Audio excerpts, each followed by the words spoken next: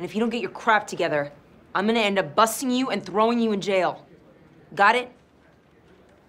Remix, yo. Throwing you in jail. Throwing you in jail. Got it? Got it? Throwing you in jail. What's happening? I think they're laughing at you.